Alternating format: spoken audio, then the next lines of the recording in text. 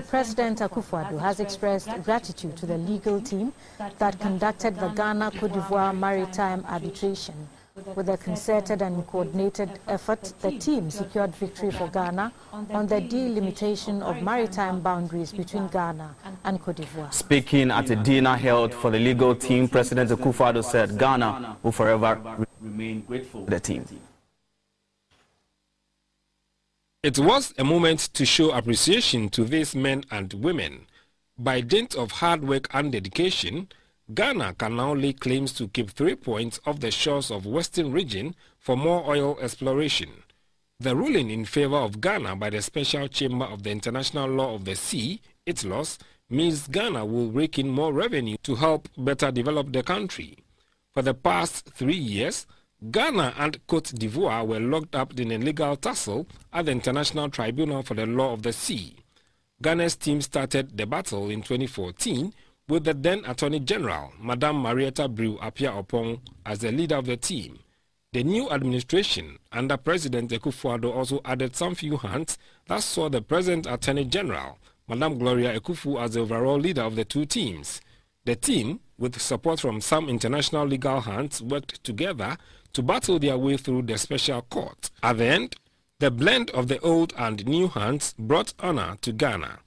Attorney General Madame Gloria Kufu said the bond of unity among the team members was overwhelming. The night when we emplaned to go for the ruling, before I emplaned, I called Marietta and we said a prayer together.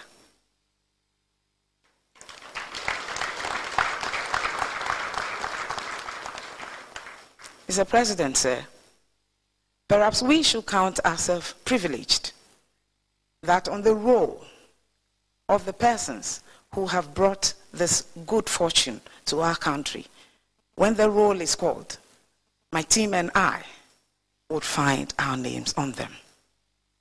The recognition that you have given us tonight, I believe, I speak for my group, should spare us on in the future because there is still a lot of work to be done.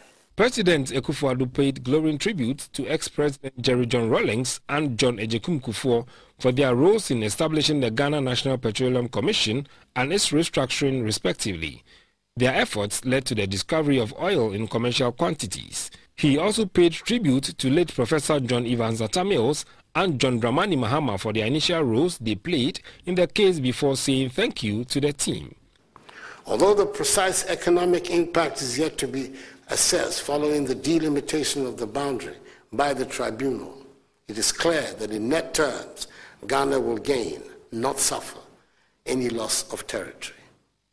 Indeed, many were those who feared that the outcome of the judgment could strain the relationship and friendship that exists between Ghana and Cote d'Ivoire. On the contrary,